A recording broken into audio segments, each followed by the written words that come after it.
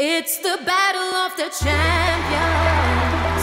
It's the glory of the nation. It's a celebration. It's a revolution. You can feel it everywhere. Yeah,